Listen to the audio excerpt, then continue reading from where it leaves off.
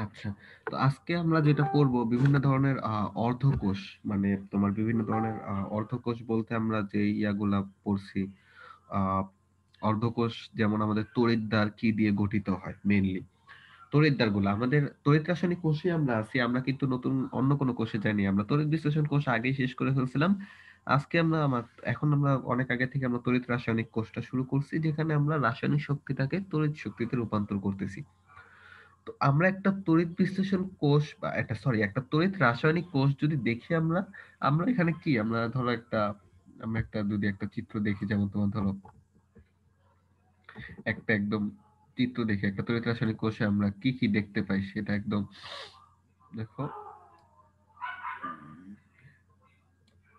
দেখো এই যে একটা তড়িৎ রাসায়নিক কোষে আমাদের তড়িৎ রাসায়নিক কোষে আমাদের এখানে কি থাকবে? দুটা তড়িৎদ্বার থাকবে।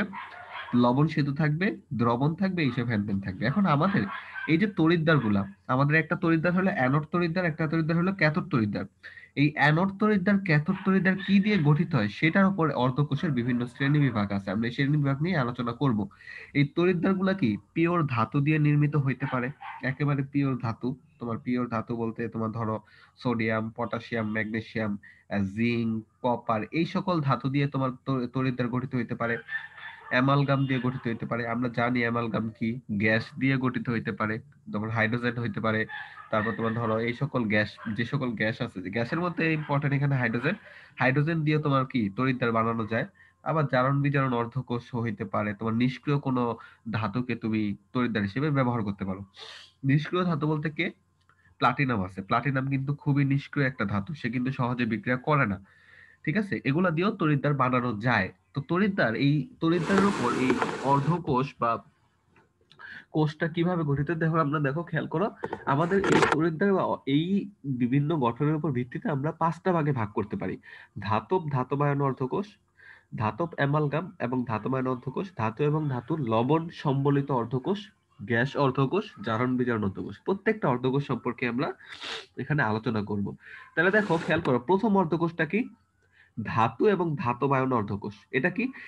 একটি কোষে একটি ধাতুর তৈরি পাতকে লবণে, দ্রবণে নিমজ্জিত করলে যে অর্ধকোষটা গঠিত সেটা। আমি একটু এটা গঠনটা দেখাই দিচ্ছি তোমাদের আলাদাভাবে। দেখো, এই যে ধরো একটা পাত্র, এখানে আমরা একটা তরিদ্দার ধরো ইয়া করলাম।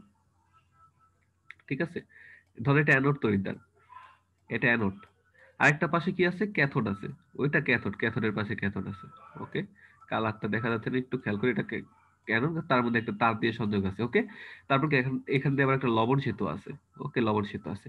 এখন এই যে তরিদারটা, ধরো অ্যানোড এই যে এই পাশে হলো অ্যানোড এই পাশে হলো কি ক্যাথোড অ্যানোড তরিদারটা সাপোজ ধরো জিঙ্ক দিয়ে বানাইছি আমরা ওকে অ্যানোড তরিদারটা জিঙ্ক আর এখানে যদি আমরা জিঙ্কের লবণ রাখি সাপোজ ধরো কি জিঙ্ক সালফেট আমরা ধাতব ধাতবায়ন তরিদার দেখতেছি মানে প্রথম তরিদারটা যেটা জিঙ্ক সালফেট তাহলে তুমি কি পাবা? তুমি তরিদার থেকে জিঙ্ক পাবা আর এই দ্রবণ থেকে জিঙ্ক টু প্লাস আয়ন পাবা তাহলে ধাতব জিঙ্ক হলো ধাতব আর জিঙ্ক টু প্লাস হলো ধাতব আয়ন তাহলে এই যে ধাতু ধাতব আয়ন অর্ধকোষ, এটাকেই বলা হয় জিঙ্ক জিঙ্ক টু প্লাস এই পাশে ধরো এটাকে কপার দিয়ে বানাইছো আর দ্রবণ রাখছো কপার সালফেট তাহলে তুমি কপার কপার টু প্লাস পাবা। তারপর ধরো সিলভার দিয়ে বানাইছো সিলভার সালফেট দ্রবণ রাখছো। তাহলে তোমাকে এটা কি তোমার কি হবে? ধাতু ধাতবায়ন অর্ধকোষ তুমি কি করবা? একটা ধাতুকে রাখবা, ওই ধাতুর লবণের মধ্যে তাকে নিমজ্জিত করবা। এই যে দেখো, কি রাখবে? একটা ধাতুর তৈরি এবং পাতটাকে ধাতব লবণ লবণের মধ্যে কি করে? নিমজ্জিত করা হয়। এটাকে আমরা কি বলব? ধাতু ধাতবায়ন অর্ধকোষ সবচেয়ে সিম্পল অর্ধকোষ এটা। ঠিক আছে? ধাতু দিয়ে বানানো হয়। ওকে আমরা নেক্সট যে অর্ধকোষটা দেখব, যেটা হলো অ্যামালগাম। আমরা একটা ক্লাসে মনে হয় তোমাদের আমি অ্যামালগাম ঠ্যামালগাম সম্পর্কে ধারণা দিছিলাম। অ্যামালগাম হলো এমন একটা জিনিস, যেটাকে আমরা কি বলি? ধাতুর সাথে যদি কোনো তরল ধাতুর সংকর করা হয়, তাইলে তাকে অ্যামালগাম বলা হয়। এখন, তরল ধাতু বলতে আমরা কাকে বুঝি? আমরা বুঝি একমাত্র মার্কিউরিকেই বা পারদ। পারদের সাথে যদি কোনো ধাতুর সংকর করা হয়, ঠিক আছে? তাইলে তাকে আমরা কি বলব? অ্যামালগাম বলব। তাইলে তাকে আমরা মেইনলি তাকে আমরা অ্যামালগাম বলব। তাহলে দেখো, আমরা এই অ্যামালগাম দিয়ে গঠিত, ধরো একটা তরিদ্দার, এখানে যে কোনো একটা লবণ আছে, ঠিক আছে? একটা লবণ আছে, ধরো সোডিয়াম সালফেট লবণটাই আছে। ঠিক আছে? সোডিয়াম সালফেট লবণটা আছে।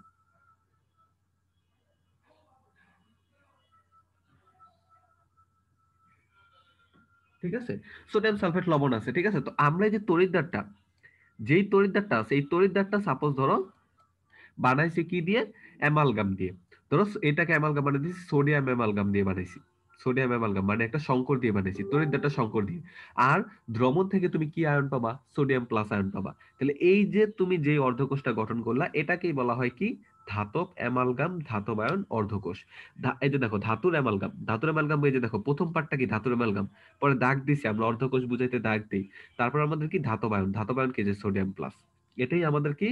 ধাতুর অ্যামালগাম, ধাতবায়ন, অর্ধকোষ। তাহলে দেখো এই যে অর্ধকোষটা বিক্রিয়াটা কীরকম ভাবে হয়? এই যে দেখো, অ্যামালগাম কি করে? এই যে সোডিয়াম অ্যামালগাম কি করে? একটা ইলেকট্রন ত্যাগ করে। ওই পাশে দেখাইছি, এই জন্য প্লাস দিয়ে দেখাইছি।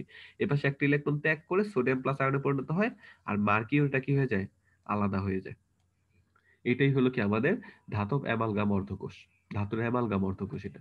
ঠিক আছে? অ্যামালগামটা এই জায়গায় বেশি ব্যবহৃত হয়, সবচেয়ে বেশি ব্যবহৃত হয়। অ্যামালগাম বিভিন্ন কাজে আমরা ইউজ করি, আমরা দেখছিলাম, প্রবণতার ক্ষেত্রে আমরা দেখছিলাম। আচ্ছা আরও একটা জিনিস, আরও কিছু অর্ধকোষ আছে একটা প্রথম হলো।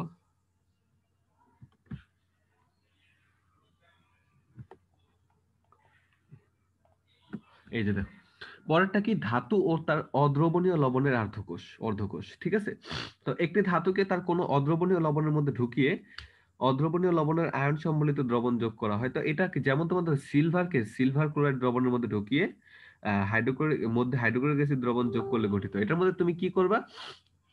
এটার মধ্যে তুমি মেইনলি যেমন তোমার এটা একটু বলি আমি, ধরো সিলভার ক্লোরাইড একটা দ্রবণ, ঠিক আছে? সিলভার ক্লোরাইড কিন্তু তোমার পানিতে অত দ্রবীভূত হয় না, এটা অদ্রবণীয় একটা লবণ আর কি, ঠিক আছে? মানে দ্রবীভূত হইতেই চায় না। তো ওইটার মধ্যে কি করব আমি? সিলভার ক্লোরাইডের সাথে সোডিয়াম সোডিয়াম ক্লোরাইড বা হাইড্রোক্লোরিক অ্যাসিড আমরা কি করব? মিশাই দিব। মিশাইলে তার কিছুটা কি হয়? দ্রবীভূত হয়। তো ওই যে দেখো, এখানে সিলভারটা কিন্তু শুধুমাত্র সিলভার ক্লোরাইডের মধ্যে নিমজ্জিত না, এটার মধ্যে কি আছে? হাইড্রোক্লোরিক অ্যাসিড আছে, সোডিয়াম ক্লোরাইড আছে। এই ধরনের অর্ধকোষকে আমরা কি বলব? ধাতু এবং অদ্রবণীয় লবণ সম্বলিত অর্ধকোষ। এ ধরনের আরও অর্ধকোষ আছে, যেমন তোমার এই যে এটাকে আমরা কি লিখি? দেখো তোমার এই যে খেয়াল করো, এই যে দেখো, মার্কিউরি মার্কিউরিক ক্লোরাইড, এটা কি? মার্কিউরিটা তো তোমার কি? ধাতু, তরল ধাতু হোক ধাতু হোক। আর মার্কিউরি ক্লোরাইড কি? অদ্রবণীয় লবণ। আর এখানে বাইরে দিয়ে ক্লোরাইড লিখছে। ক্লোরাইডটা তুমি কোথা থেকে পাইছো? সাপোজ ধরো হাইড্রোক্লোরিক অ্যাসিড বা সোডিয়াম ক্লোরাইড থেকে। এটাকে ক্যালোমেল তরিদ্দারও বলা হয়। এটার নাম আছে, আমরা দেখব, একটু পর ক্যালোমেল তরিদ্দার আমরা দেখব। এটার মধ্যে কীভাবে হয়? মানে কেমনে রিয়াকশনটা হয়? এই রিয়াকশনটা হয় কীভাবে? প্রথমে মার্কিউরি ইলেকট্রন ত্যাগ করে মার্কিউরি প্লাসে পরিণত হয়। সেই মার্কিউরি প্লাসটা পরবর্তীতে ক্লোরাইডের সাথে কি উৎপন্ন করে? মার্কিউরি ক্লোরাইড উৎপন্ন করে। এভাবে তোমার বিক্রিয়াটা হয়, ঠিক আছে? আচ্ছা এবার আমরা যেটা দেখব, আমাদের এটা গেল অর্ধকোষ মানে আমাদের তোমার অদ্রবণীয় লবণ সম্বলিত অর্ধকোষ, যাতে একটা দ্রবণীয় একটা কিছু ঢুকাই দেওয়া হয়। গ্যাস অর্ধকোষ। গ্যাস অর্ধকোষ কি? তুমি গ্যাস দিয়ে বানাবা। তো গ্যাস নিষ্ক্রিয় ধাতব তারকে গ্যাসীয় মূল্য নিমজ্জিত করে এটা বুদ্বুত আকারে চালানো এটা কি করা হয়? একটা নিষ্ক্রিয় ধাতব পাত বা তারকে একটি গ্যাসীয় মৌলের আয়নের দ্রবণে নিমজ্জিত করে স্থির তাপমাত্রা চাপে গ্যাসকে দ্রবণের মধ্যে বুদবুদ আকারে চালানো করা হয়। এটা আমরা একটা একটু পর একটা গঠন দেখব। গঠন দেখলে এটা আরও বুঝতে পারবা। আমি গঠনটা দেখাই দিচ্ছি অর্ধকোষে, গ্যাস আয়নের অর্ধকোষে।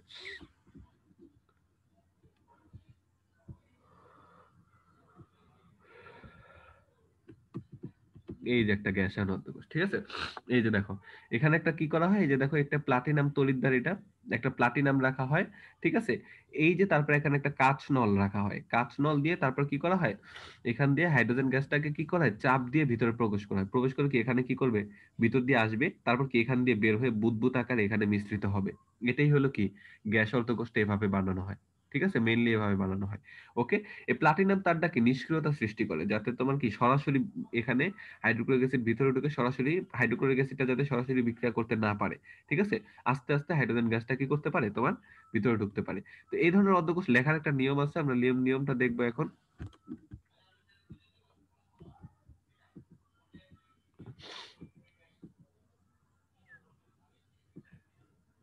এই যে গ্যাস অর্ধকোষটাকে নিয়মটা, যেমন হাইড্রোজেন অর্ধকোষ হাইড্রোজেন দিয়ে যেটা বানানো হয় পিএইচ টু এইচ প্লাস এখানে কি করে? হাইড্রোজেনটা ইলেকট্রন ত্যাগ করে কিসে পরিণত হয়েছে? এইচ প্লাসে পরিণত হয়েছে পিটি পিটি মানে কি? প্লাটিনামটা সাথে আছে। প্লাটিনাম ক্লোরিন ক্লোরাইডে পরিণত হয়েছে। ক্লোরিন ইলেকট্রন ত্যাগ করে ক্লোরাইডে পরিণত হয়েছে। এটা গ্যাস অর্ধকোষ আচ্ছা জারণ বিজারণ অর্ধকোষ কি? কোন দুটি ধাতুর ভিন্ন জারণ অবস্থা আয়নের দ্রবণের মধ্যে নিষ্ক্রিয় পাতে ডুবে অর্ধকোষটা গঠন করা হয়? তো এটার মধ্যে কি করা হয়? ধরো, ভিন্ন জারণ অবস্থা আছে। যেমন তোমার ধরো আয়রন টু প্লাস আর আয়রন থ্রি প্লাস এটা কি আয়রনের দুইটা? জারণ অবস্থা। এই জারণ অবস্থার মাঝখানে মানে দুইটার মাঝখানে একটা কি করা হয়? প্লাটিনাম তরিদ্দার ঢুকাইয়া তারপর কি তাদের মধ্যে একটা ইয়া করা হয় একটা অর্ধকোষ গঠন করা হয় ঠিক আছে? তো অর্ধকোষ গঠন করা এটাই কি আমরা জারণ বিজারণ অর্ধকোষ বলি? যেমন তোমার আমরা জারণ বিজারণ বিক্রিয়ার মধ্যে কি দেখছিলাম? এফি টু প্লাসটা কি এফি থ্রি প্লাসে পরিণত হয়েছিল ঠিক আছে? ওইখানে আমরা এফি টু প্লাসটা এফি থ্রি প্লাসে পরিণত হয়েছে মানে কি? জারণ বিজারণ হয়েছে এখানে। তো ওই জারণ বিজারণ মাঝখানে একটা প্লাটিনাম তার ঢুকে আমরা কি করি, এই অর্ধকোষটা বানাই আর কি ঠিক আছে? বিভিন্ন কাজে বিভিন্ন, যখন যেটা লাগে সেই অর্ধকোষটি আমরা কি করতে পারব? ব্যবহার করতে পারব। তো অর্ধকোষ উপস্থাপন অর্ধকোষ উপস্থাপন আমরা কীভাবে করি? তো অর্ধকোষ উপস্থাপন কি? আমরা একটা তির্যক রেখা। তির্যক রেখাটা কীভাবে দিব ধরো এই যে বিক্রিয়াটা পেয়েছে ধরো সিলভার অ্যানোড হিসেবে কাজ করছে। তো সিলভার কি হবে? জারণ হবে। মানে সিলভার একটা ইলেকট্রন ত্যাগ করে সিলভার প্লাসে পরিণত হবে। তাহলে আমি সেটাকে কি লিখব? সিলভার বাই সিলভার প্লাস তাহলে কি হবে? সিলভারটা সিলভার প্লাসে পরিণত হয়েছে। ঠিক আছে? সিলভারটা সিলভার প্লাসে পরিণত হয়েছে। আবার ধরো হাইড্রোজেনটা ইলেকট্রন ত্যাগ করে হাইড্রোজেন প্লাসে পরিণত হয়েছে। তাহলে কি লিখব? এইচ টু থেকে এইচ প্লাস লিখব। বুঝতে পারছ? কারণ আমাদের আগে যেটা ছিল, ধরো জিঙ্ক টু এখানে কি হয়েছে? জিঙ্ক টু প্লাস ইলেকট্রন গ্রহণ করে জিঙ্কে পরিণত হয়েছে। তাহলে আগে কি ছিল? জিঙ্ক টু প্লাস পরবর্তীতে পরিণত হয়েছে কি? জিঙ্ক তাহলে আমরা জিঙ্ক টু প্লাস থেকে জিঙ্ক লিখব। বুঝতে পারছ? আর গ্যাস অর্ধকোষের বেলায় কোন নিষ্ক্রিয় তারটা তুমি ইউজ করছ সেটা তোমাকে দেখায় দিতে হয়। যেমন তোমাদের যেটাকে দেখলাম আমরা হাইড্রোজেনের সাথে যে প্লাটিনামটা দেখায় দিতে হয়। কারণ প্লাটিনাম তারটা তুমি নিষ্ক্রিয় তার হিসেবে কি করছ? ইউজ করছ। আর জারণ বিজারণের সময় তুমি কোন তারটা ইউজ করছ? যে মাঝখানে প্লাটিনাম ঢুকাই দেওয়া হয়, সেই প্লাটিনামটা তোমাকে কি করতে হবে? দেখাইতে হবে। এই যে নিম্নোক্ত নিয়মে তোমাকে এগুলো উপস্থাপন করতে হবে। ঠিক আছে? এগুলো একটু দেখো যাচ্ছে অর্ধকোষী উপস্থাপন। এগুলা আগেও আমরা, আগের ক্লাসগুলোতে আমরা দেখছি এগুলা। নতুন নতুন আসতেছে। অর্ধকোষ স্থাপন। আচ্ছা অর্ধকোষ স্থাপন আমরা, অর্ধকোষ স্থাপন আমরা দেখি অর্ধকোষ স্থাপন। অর্ধকোষ স্থাপন আমরা দেখছিলাম, আমরা ম্যাথের ক্ষেত্রে দেখছিলাম যে দুইটা দাগ দিয়ে স্থাপন করা হয়। যদি লবণ সেতু থাকে, তাইলে মাঝখানে দাগ দেওয়া হয় দুইটা। যেমন তোমার জিঙ্ক থেকে জিঙ্ক টু প্লাসে পরিণত এখন জিঙ্ক সালফেট লিখছে মানে কি? জিঙ্ক সালফেটের মধ্যে কি? জিঙ্ক টু প্লাসই তো। তাহলে জিঙ্ক থেকে জিঙ্ক টু প্লাসে পরিণত হয়েছে। মানে এই পাশটা কি অ্যানোড? আর কপার সালফেট থেকে কপার মানে কপার টু প্লাস থেকে কপারে পরিণত হয়েছে। এই পাশটা তাহলে কি? ক্যাথোড। তাইলে দেখো অ্যানোড আর ক্যাথোড, মাঝখানে দাগ দেওয়া হয়েছে কয়টা? একটা। একটা দাগ দিব কখন? যখন কোনো লবণ সেতু থাকবে না, মাঝখানে একটা অর্ধভেদ্য পর্দা দিয়ে দেবো আমি। অর্ধভেদ্য পর্দা দিয়ে দেবো আমি। তখন আমি কি বলব? সেটাকে আমি কি বলব? নর্মালি একটা দাগ দিয়ে দেখাবো। আর যদি লবণ সেতু দিয়ে পূর্ণাঙ্গ যদি তুমি আমি একটা কোষ স্থাপন করি, তখন মাঝখানে দাগ দেওয়া হয় দুইটা। দুইটা মানে সেখানে কি সল্ট ব্রিজ বা লবণ সেতুটা আছে। ঠিক আছে? আচ্ছা এই জিনিসটা তোমরা জাস্ট দেখাই দিলে এখান থেকে। এগুলো নিয়ম আর কি, এগুলো নতুন কিছু না। ওকে আমরা এবার বিভবের চিহ্ন নিয়ে একটু আলোচনা করব। বিভবের চিহ্ন আমরা দেখছিলাম। আমরা যদি সাপোজ ধরো আমাদের কি ছিল? Zinc by zinc two plus যদি plus zero point seven six volt হয়, তাহলে zinc two plus by zinc কি হবে? Minus zero point seven six volt কোনো অ্যানোড আর ক্যাথ মানে কি? জারণ বিভব আর বিচারণ বিভবটা কি? সমান কিন্তু কি? বিপরীত। এই যে দেখো, এখানে একটা ইয়া বলছে যে তোমার ধরো এই যে, এখানে একটা তোমার দিছে যে, আহ, দেখো এখানে কি লিখছে? এইচ টু থেকে হাইড্রোক্লোরিক অ্যাসিডে গেছে। আচ্ছা এইচ টু মানে কি? তালিয়া আর হাইড্রোক্লোরিক অ্যাসিডে হাইড্রোজেনটা কি? এইচ প্লাস তাহলে এইচ টু থেকে এইচ প্লাসে গেছে। মানে এখানে তোমার জারণ আর সিলভার ক্লোরাইড থেকে সিলভারে গেছে। মানে সিলভার প্লাস থেকে সিলভারে গেছে। মানে এই পাশে কি? বিজারণ। তাহলে এখানে কোষের তড়িৎচালক বল কত? Plus zero point zero two volt এটাকে যদি আমরা উল্টায় দেই মানে আমরা কি করি? সিলভারের সাথে যদি আমরা কি করি? তোমার সিলভারের সাথে যদি আমরা মেইনলি সিলভারকে যদি আমরা জারণ করি আর হাইড্রোজেনটাকে যদি আমরা কি করি? দেখো, এই হাইড্রোজেনটাকে কি করা হয়েছে? বিজারণ করা হয়েছে। সিলভারটাকে জারণ উল্টা করায় দেওয়া হয়েছে। তাহলে ভোল্টটা হবে কি? Minus zero point two volt এখানে উল্টে এটা। ধরো জিঙ্ককে আমি জারণ করছি, তাইলে হবে plus zero point seven six volt আর জিঙ্ককে আমি বিজারণ করছি তাহলে কি হবে? Minus zero point seven six volt এটাই আর কি। তো এটাই হলো কি আমাদের বিভবের চিহ্ন। এটা আমরা ম্যাথের ক্ষেত্রে এটা দেখছি। এটা নতুন কিছু না। ঠিক আছে? এখানে জাস্ট বিভিন্ন কোষ দিয়ে এটা দেখানো হয়েছে আর কি। ওকে আচ্ছা। এবার দেখো কোষ বিক্রিয়ার প্রকৃতি, এই প্রকৃতি নিয়ে আর তেমন কিছু বলার নেই। কোষ বিক্রিয়ার প্রকৃতি তোমার ধরো কোষের পরিচালক বলার মান যখন ঋণাত্মক হয়, এটা আমরাও দেখছি, এটাও আমরা দেখছি, কোষ বিক্রিয়ার প্রকৃতি। আমরা যদি কোষ ইনট সেল বা ই সেলের মানটা যদি আমরা দেখছিলাম, কি দেখছিলাম? যদি পজিটিভ হয়, তাহলে কি স্বতঃস্ফূর্ত মানে নর্মালি বিক্রিয়াটা হবে। আর যদি নেগেটিভ হয়, তাহলে স্বতঃস্ফূর্ত হবে না। তাহলে আমরা এগুলা দেখছিলাম। এগুলো এগুলা নিয়ে আর আলোচনা করতে চাইতেছি না। এগুলো আগেই দেখছিলাম। এই যে তোমার ধরো বিভিন্ন কোষের বিক্রিয়া সমস্যা কিন্তু সমাধান, আমরা এখানে একটু কোষের বিক্রিয়া সম্পর্কে আমরা দেখব। তাহলে দেখো এখানে কি দেওয়া আছে? একটা আছে জিঙ্ক বাই জিঙ্ক সালফেট এটা তোমার একটু নতুন মনে হইতেছে যে জিঙ্ক সালফেট কেন লিখছে? জিঙ্ক টু প্লাস লিখলেই তো পারতো। তুমি এখান থেকে দর্শকানটা বাদ দিয়ে লিখো। তাহলে কি লেখা যাবে? Zinc by zinc two plus দুইটা দাগ মানে দুইটা দাগ মানে কি? এখানে লবণ সেতু ইউজ করা হয়েছে। আর কি? কপার সালফেট থেকে কপার মানে কপার টু প্লাস থেকে কপার ঠিক আছে? কপার টু প্লাস থেকে কপার তাহলে এখানে আমি অর্ধকোষ বিক্রিয়াটা এই যে লিখতে পারি, নিচে লিখতে পারি, দেখো। জিঙ্ক দুইটা ইলেকট্রন ত্যাগ করে জিঙ্ক টু প্লাসে পরিণত হয়েছে। ওই মাইনাসের দুইটা ইলেকট্রন এই পাশে লিখছে, এই জন্য প্লাসের দুইটা ইলেকট্রন এটা হলো অ্যানোডের অর্ধকোষ বিক্রিয়া। আর ক্যাথোডের অর্ধকোষ বিক্রিয়াটা কি? কপার টু প্লাস দুইটা ইলেকট্রন গ্রহণ করে কপারে গেছে, এটা বিজারণ বিক্রিয়া। তারপর দুইটাকে তুমি যোগ করো, এই ইলেকট্রন সংখ্যাটা কি হয়? কাটা যায়। কাটা গেলে কি হবে? Zinc plus copper two plus zinc two plus plus copper তারপর এখানে তুমি দর্শকানটা সরবরাহ করো। দর্শকানটা কি? সালফেট তাহলে সালফেটের সাথে কপার টু প্লাস মিললে কি? Copper sulphate zinc two plus সাথে জিঙ্ক জিঙ্ক সালফেট এই যে এটাই হলো আমাদের বিক্রিয়া। এটা নর্মাল একদম নর্মাল ইকুয়েশন এগুলো আমরা আগেও দেখছি। এগুলো নতুন কিছু না আমাদের কাছে। ঠিক আছে? তো আমরা আরও কিছু বিক্রিয়া দেখব। যেমন যে তোমার এখানে আরেকটা বিক্রিয়া দিছে। যদি এবার জিঙ্কের সাথে একটা গ্যাস অর্ধকোষ্ঠ। জিঙ্কের সাথে তুমি কি নিলে একটা? গ্যাস অর্ধকোষ নিলা। জিঙ্কটা তোমার ধাতু, ধাতবায়ন অর্ধকোষ বাট অ্যানোডটা তোমার ধাতু, ধাতবায়ন বাট ক্যাথোডটা কি? গ্যাস অর্ধকোষ ওকে তাহলে দেখো এখানে কি জিঙ্কের জারণ দেখানো হয়েছে? জিঙ্ক থেকে জিঙ্ক টু প্লাসে পরিণত হয়েছে। আর হাইড্রোজেনের বিজারণ দেখানো হয়েছে। এইচ প্লাস থেকে এইচ টু মানে কি? ইলেকট্রন গ্রহণ করতে হয়েছে। আর প্লাটিনামটা কেন দেখানো হয়েছে? কারণ আমরা জানি গ্যাস অর্ধকোষে একটা প্লাটিনাম ইউজ করা হয় নিষ্ক্রিয়তা সৃষ্টির জন্য। কারণ হাইড্রোজেন খুবই সক্রিয়। সে যে কি করবে? যে কারোর সাথে বিক্রিয়া করতে পারে। ওকে তো এখানে দেখো, তাহলে এই বিক্রিয়াটা আমরা কীভাবে লিখব? জিঙ্ক দুইটা ইলেকট্রন ত্যাগ করে জিঙ্ক টু প্লাসে পরিণত হয়েছে। আর এইচ প্লাস এখানে দুইটা এইচ প্লাস দিয়েছে কারণ সমতা করার জন্য। টু এইচ প্লাস দুইটা ইলেকট্রন গ্রহণ করে এইচ টু তে পরিণত হয়েছে। তারপর যোগ করে যেটা আসে আর কি এটাই আমাদের এটাই আমাদের সেল বিক্রিয়া আর আগেরগুলো অর্ধকোষ বিক্রিয়া। ওকে তারপরে আমরা দেখো এখানে আরেকটা দিছে যে এখানে যদি ইয়া থাকে যত তোমার, এই যে আবার এখানে একটা ইয়ে দিছে। আমরা এগুলোও দেখছি। এখানে দুইটাই ধাতু ধাতবান বাট যদি ইলেকট্রন সংখ্যা না মিলে তখন দুই দিয়ে গুণ করতে হয় আর কি জিঙ্ক দুইটা ইলেকট্রন ত্যাগ করে জিঙ্ক টু প্লাসে পরিণত হয়েছে। আর সিলভার প্লাস তো একটা ইলেকট্রন গ্রহণ করে সিলভারে পরিণত হয়েছে ঠিক আছে? তো এটা সিলভার প্লাস একটা ইলেকট্রন গ্রহণ করে সিলভার তখন এটাকে দুই দিয়ে গুণ করে তারপর যোগ করতে হয়। কারণ আমাদের ইলেকট্রন সংখ্যাটা কাটতে হবে। তারপর এটাই হলো আমাদের কি? সেল বিক্রি এগুলো আমরা আগেই দেখছি। আমাদের ই সেল বিক্রি বের করার সময় এগুলো আমরা দেখছি। আমাদের এগুলো পরিচিত আমরা। ওকে এবার সবচেয়ে ইম্পর্টেন্ট যে পার্টটা যে, এই যে বিভবগুলো যে বলি, আমাদের একটা চার্টই আছে একটা চার্টই আছে আমাদের। যেমন জিঙ্কের আমাদের চার্টটা কীরকম আমাদের? যেমন জিঙ্কের, আমরা খেয়াল করো, জিঙ্কের আমরা বিভব কত ধরি? আমাদের জিঙ্কের বিভব হলো plus zero point seven six volt তার জারণ বিভব। আর বিচারণ বিভব কত হবে? Minus zero point seven six volt এই ভোল্টটা কীভাবে নির্ণয় করছে? ভোল্টটা নির্ণয় করাতে একটা কি লাগবে? একটা ভিত্তি লাগবে, একটা সাপেক্ষ লাগবে, একটা কিছু লাগবে যে এটা সাহায্যে ওটা নির্ণয় করা হয়েছে। তারপর ধরো যে কোনো ধাতুরই তার বিভবটা কীভাবে নির্ণয় করছে? কিছু একটা সাপেক্ষে তো তাকে নির্ণয় করছে বা কিছু একটা সাপেক্ষে তার নির্ণয় করছে যে এটার সাপেক্ষে জিঙ্কের জারণ বিভব হইল plus zero point seven six volt এখন কিসের সাপেক্ষে নির্ণয় করছে বা কোনটার সাপেক্ষে, কিসের ভিত্তিতে এটা নির্ণয় করছে? এই ভিত্তিটা হইল কি? নির্দেশক তরিদ্দারের ভিত্তিতে। নির্দেশক তরিদ্দার হইল অনেকটা তোমার টাইট্রেশনের মতো। টাইট্রেশনটা কি ছিল? টাইট্রেশনটা ছিল কি? তোমার ধরো একটা অ্যাসিড ক্ষারের বিক্রিয়া হবে। তুমি ধরো অ্যাসিড বা ক্ষারের ঘনমাত্রাটা তুমি কি করতে পারো?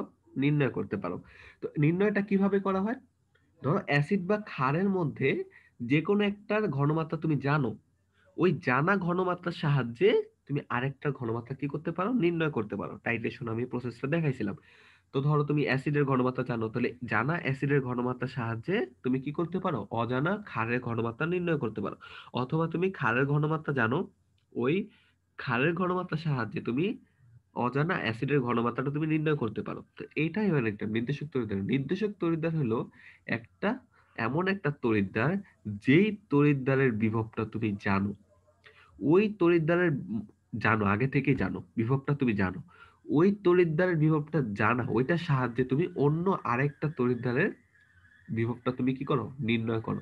তখন সেটাকে আমরা কি বলি? নির্দেশক তরিদ্বার বলি। এটা এটা কি তুমি একটা তরিদ্বার বিভবটা জানো? আরেকটা সাথে তুমি কি করো? আরেকটার সাথে তুমি সেটা তরিদ্বারটা গঠন করো। গঠন করার পর কি করো? তুমি কোষ বিভবটা চালনা করো। তো তুমি তারপর কি করতে পারো? ইয়া করতে পারো। আমি প্রসেসটা একটু চিত্রায়িকা দেখাইতে চাইতেছি চিত্রায়িকা দেখো আমি একটু একটা চিত্রায়িকা তোমাদের এটা দেখাইতে চাইতেছি। দেখো আমি একটা হোয়াইট স্ক্রিন শেয়ার করি। ওকে দেখো আমাদের এই চিত্রটা কীরকম? সাপোজ ধরো এটা আমাদের কোষ। ওকে এখানে একটা অর্ধ অর্ধবেদ্য পদ্মা দিয়ে দিই আমরা। এই যে, এটা হলো অর্ধবেদ্য পদ্মা। আর দুইটা পাত্র নিয়ে সেটাকে আমরা লবণ সেতু বলি। এখানে একটা তরিদ্দার। ওকে এটা একটা তরিদ্দার। এটা একটা সংযোগ দিয়ে আরেকটা তরিদ্দার। ওকে ঠিক আছে? তুমি তারপর এখানে একটা ভোল্ট মিটার লাগাই দিছো, একটা ভোল্ট মিটার এখানে লাগাই দিছো। এখানে একটা ভোল্ট মিটার মানে দুইটার দুইটার মধ্যে একটা ভোল্ট মিটার লাগাই দিলে তুমি এটা ভোল্টেজটা মাপতে পারবা। মানে টোটাল কোষ বিভবটা মানে ই সেলটা or E nought cell E nought cell মানে কি? তোমার কি? যখন এক মোলার ঘনমাত্রা থাকবে। বাট ধরো বিভবটা, কোষ বিভব, মোট বিভবটা তুমি নির্ণয় করতে পারতো সেই ভোল্ট মিটারের সাহায্যে। ঠিক আছে? আচ্ছা এর মধ্যে ধরো সাপোজ ধরো একটা নির্দেশক তরিদ্দার রাখবা। ওকে এটা নির্দেশক তরিদ্দার সাপোজ ধরো এটা নির্দেশক তরিদ্দার এটা নির্দেশক তরিদ্দার মানে এটার বিভবটা তুমি জানো। ধরো এটার বিভবটা এক্স এটার বিভবটা তুমি জানো। আর এটার বিভবটা তুমি জানো না। ধরো এক্স ইকোস টু তোমার ওয়ান ভোল্ট আর জিরো ভোল্ট ওকে এটার বিভবটা তুমি জানো। X equals two zero volt আর এটার বিভবটা তুমি জানো না। ধরো এটা ওয়াই ভোল্ট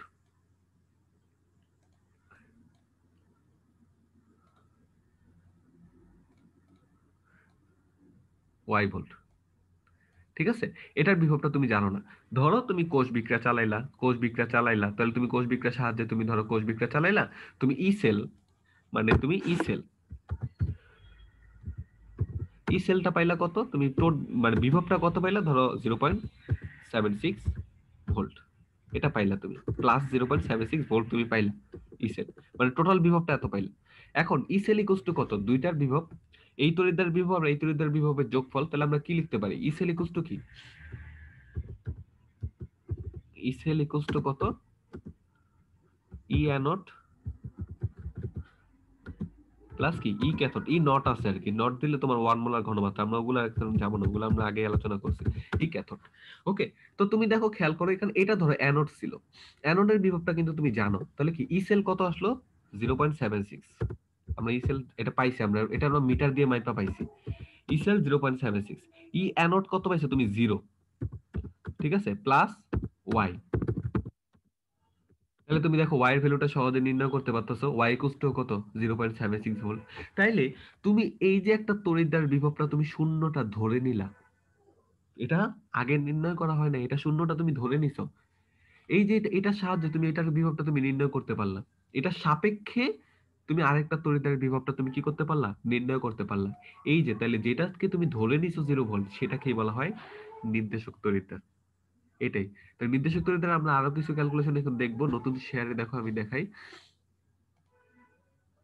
দেখো আমি স্ক্রিনটা শেয়ার করি এবার।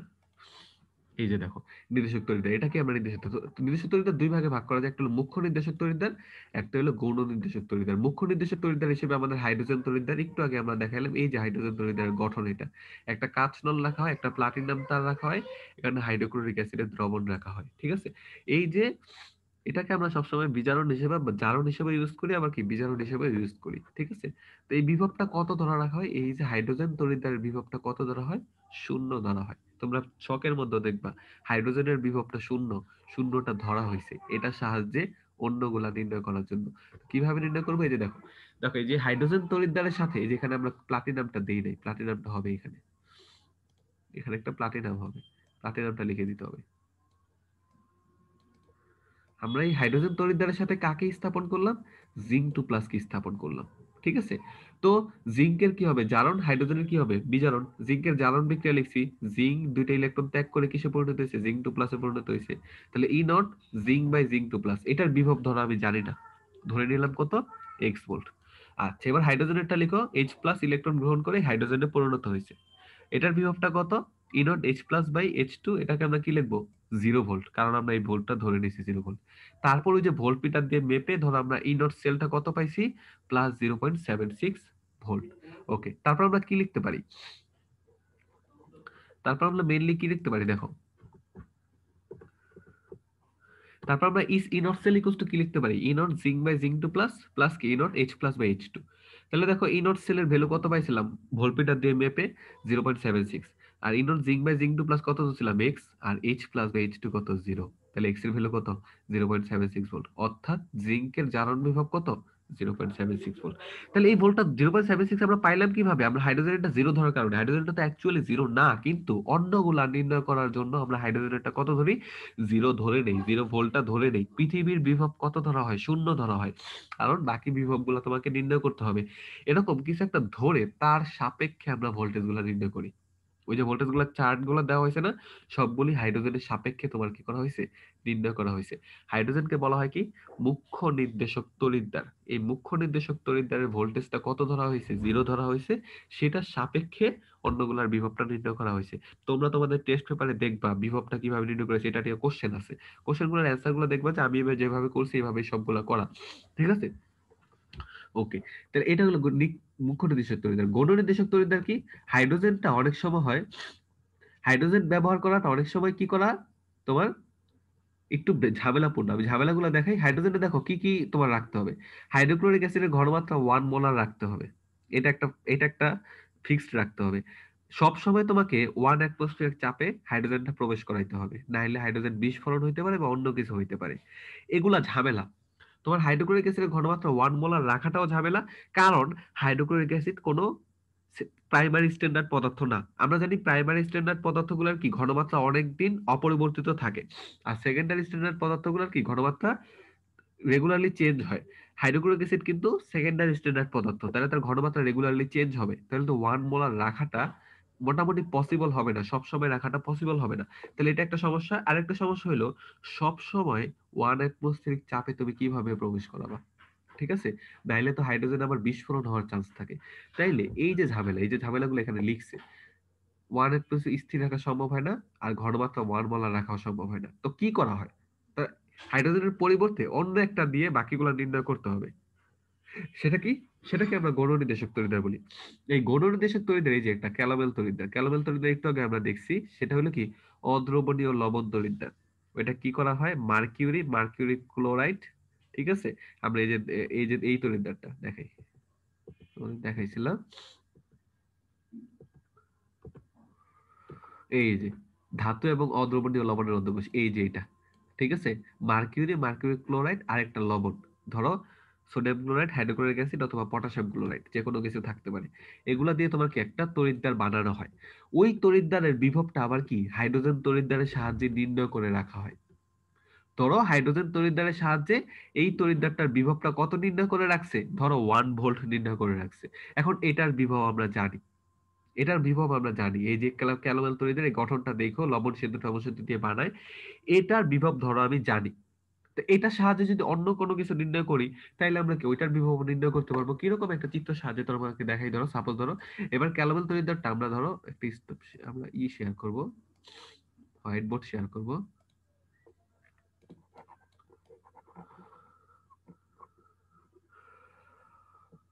ওকে এটা দেখো, খেয়াল করো হাইড্রোজেন এটাতে কি করব? ধরো একটা তরিদ্দার এই যে এই পাশে আমরা ধরো ক্যালামেল তরিদ্দারটা রাখছি, যেটা হলো একটা কি গণ নির্দেশক তরিদ্দার তারপরে এখানে যারটা নির্ণয় করব সেটা তরিদারটা রাখলাম ওকে একটা অর্ধভেদ্য পদ্মা দিয়ে দিলাম তাদের মাঝখানে।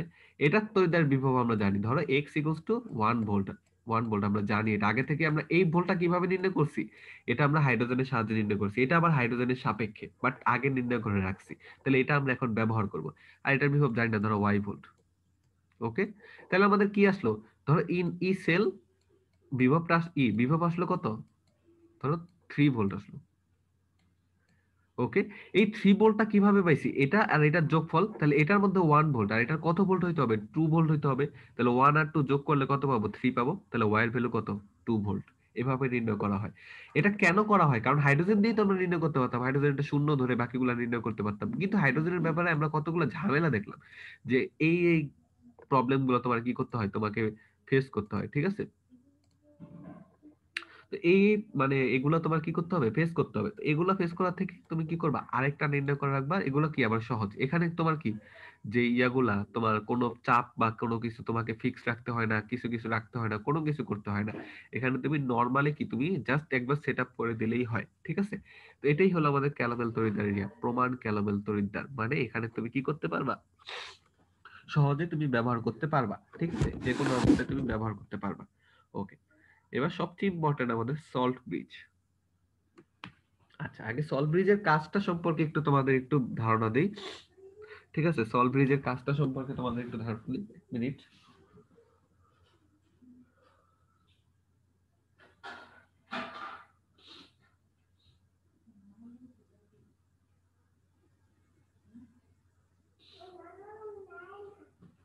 ওকে সলব্রিজের কাজটা সম্পর্কে তোমাদের একটু ধারণা দেই। সলব্রিজের কাজটা কীরকম?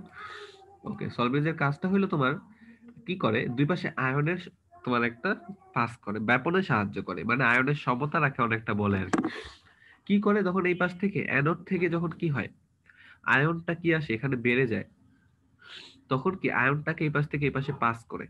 এটাই হলো কি সল ব্রিজের প্রধান কাজ, আয়নটা এই পাশ থেকে এই পাশে পাস করে। যাতে এই পাশে এসে কি করে তোমার বাকি সালফেট গুলাকে কি করে? তোমার ইয়া দিতে পারে, সঙ্গ দিতে পারে। কীরকম এখানে ধরো জিঙ্ক সালফেট আছে, এখানে ধরো কপার সালফেট আছে। তো জিঙ্ক তো কি করে? এই যে এই তরিদাটা ধরো সাপোজ ধরো জিঙ্ক দিয়ে গঠিত। তো জিঙ্কটা কি করবে? ইলেকট্রন ত্যাগ করে এখানে চলে আসবে। এখানে চলে আসলে কি হবে? জিঙ্ক টু প্লাসের পরিমাণটা বেড়ে যাবে।